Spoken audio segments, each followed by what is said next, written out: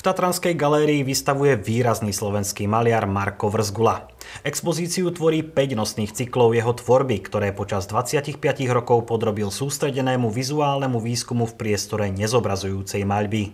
Tatranská galéria predstavila v závere roka tvorbu významného slovenského maliara Marka Vrzgulu. Výstava pod názvom Polčas zachytáva autorové obdobia počas 25 rokov života. Môj systém práce je taký, že e, robím cykloch niekoľkoročných. Takže som sa snažil aj z tých starších, lebo Poprade som sa ešte takto nepredstavil, tak aby ten obraz bol čo najkomplexnejší.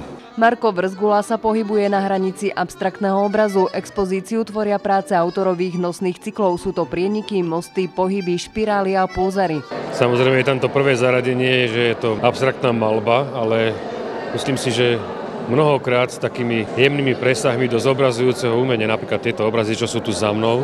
Na prvý pohľad možno ako sú to neidentifikovateľné tvary, ale tým, že sa hýbu v istom priestore a vytvárajú isté kompozičné vzťahy, tak pripomínajú nejaké reálne situácie. Pracuje s vizuálnou metaforou, prináša výstupy z príbehov so zafixovanou emóciou. To, ako žije, tak, tak, aj, tak aj maluje. Je to vidieť aj na tých obrazoch, že sú proste plné gesta, plné emócie, plné síly. A takýto je v podstate aj v súkromnom živote priamočiari a ako nejak tá konceptuálna škrupula medzi ním a tým obrazom akoby neexistuje. Pri svojej tvorbe nepoužíva klasický štetec, zmaľuje rukami alebo volí iný spôsob nanášania farby. Valec, frotáž, striekanie, s pištolou na tmel, rozostieranie špachtlov. Akokoľvek veľa je tam tej farby, vždy je to len prostriedok.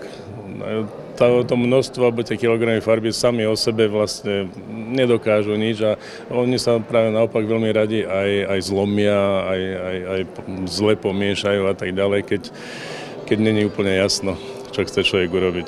Skvelým spestrením vernisáže výstavy Polčas bol hudobný host Michal Červienka, ktorý v Tatranskej galérii zahral opäť po desiatich rokoch. Odtedy sa veľmi veľa zmenilo a myslím si, že, že akordeón na Slovensku odtedy už e, ľudia vnímajú oveľa pozitívnejšie a som veľmi šťastný, že tu môžem hrať tieto krásny priestor.